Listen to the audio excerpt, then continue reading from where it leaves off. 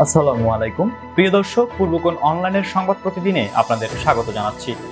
শুরুতেই সংবাদ শিরোনাম। মধ্যরাত থেকে একুশ দিনের লকডাউন উত্তর কাট্টলিতে করোনা, একদিনের মৃত্যু, অর্ধশত। এবং তিন মাস পর চালু হলো আন্তর্জাতিক ফ্লাইট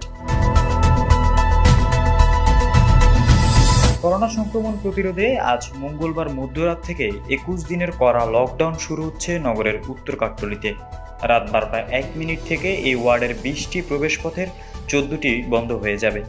জরুরি প্রয়োজনে অ্যাম্বুলেন্স, ফায়ার সার্ভিস, স্বেচ্ছাসেবক ও আইন শৃঙ্খলা বাহিনীর গাড়ি চলাচলের জন্য খোলা থাকবে ছয়টি সড়ক। চট্টগ্রাম সিটি মেয়র আজমুর নাসির উদ্দিনের সভাপতিত্বে লকডাউনের কর্মপরিকল্পনা নিয়ে মঙ্গলবার দুপুরে চসিক কনফারেন্স হলে অনুষ্ঠিত সমন্বয় সভায় এসব সিদ্ধান্ত চূড়ান্ত করা হয়েছে। আরও সিদ্ধান্তের মধ্যে রয়েছে, লকডাউনের আওতামুক্ত থাকবে সাগরিকার বিসিক শিল্প এলাকা প্রতিদিন রিক্সা ভ্যানের মাধ্যমে ন্যায্য বাজার মূল্যে কাঁচা বাজার সরবরাহ করা হবে লকডাউন এলাকায়। ধর্মীয় ইবাদত ঘরেই আদায় করতে হবে। এলাকাবাসীর সার্বিক সহায়তার জন্য থাকবে সিটি কর্পোরেশনের একাধিক কন্ট্রোল রুম ও এলাকাভিত্তিক স্বেচ্ছাসেবক টিম চসিকের ব্যবস্থাপনায় কোভিড ও নন কোভিড রোগীদের চিকিৎসা ও হাসপাতালে প্রেরণের জন্য সার্বক্ষণিক অ্যাম্বুলেন্সের ব্যবস্থা থাকবে। লকডাউন এলাকায় অবস্থানকারী সব সরকারি, বেসরকারি ও স্বায়ত্তশাসিত প্রতিষ্ঠানে কর্মরত কর্মকর্তা ও কর্মচারী সাধারণ ছুটির আওতায় থাকবেন। জরুরি প্রয়োজনে চসিকের কন্ট্রোল রুমে যোগাযোগ করা যাবে।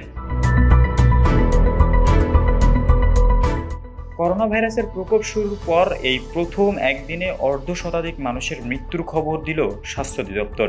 গত চব্বিশ ঘন্টায় সর্বোচ্চ সংখ্যক নমুনা পরীক্ষা করে তিন হাজার আটশো বাষট্টি জনের করোনা শনাক্ত হয়েছে। একই সময় করোনায় মারা গেছেন তেপ্পান্ন জন। দেশে একদিনে করোনায় এটাই সর্বোচ্চ মৃত্যু। দেশে করোনা সংক্রমণ পরিস্থিতি নিয়ে স্বাস্থ্য অধিদপ্তরের নিয়মিত অনলাইন ব্রিফিংয়ে আজ মঙ্গলবার এই তথ্য জানানো হয়। সব মিলে দেশে করোনা শনাক্ত হয়েছে চুরানব্বই হাজার চারশো একাশি জনের। মোট মৃত্যু হয়েছে এক হাজার দুশো বাষট্টি জনের। ব্রিফিংয়ে বলা হয়, গত চব্বিশ ঘন্টায় সুস্থ হয়েছেন দুই হাজার দুইশো সাঁত্রিশ জন। সব মিলে এখন পর্যন্ত ছত্রিশ হাজার দুইশো চৌষট্টি জন সুস্থ হয়েছেন। করোনা ভাইরাস মহামারীতে তিন মাস বন্ধ থাকার পর বাংলাদেশ থেকে আন্তর্জাতিক রুটে নিয়মিত যাত্রীবাহী ফ্লাইট চলাচল শুরু হয়েছে।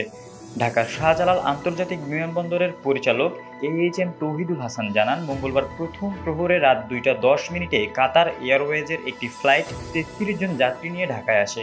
কাতার এয়ারওয়েজ আপাতত এভাবে সপ্তাহে তিনটি ফ্লাইট পরিচালনা করবে। একুশে জুন থেকে বিমান বাংলাদেশ এয়ারলাইন্স লন্ডন রুটে ফ্লাইট চালাবে।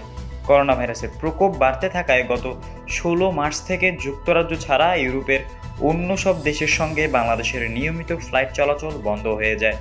পরে অন্যান্য দেশের সঙ্গেও ফ্লাইট বন্ধ রাখা হয়।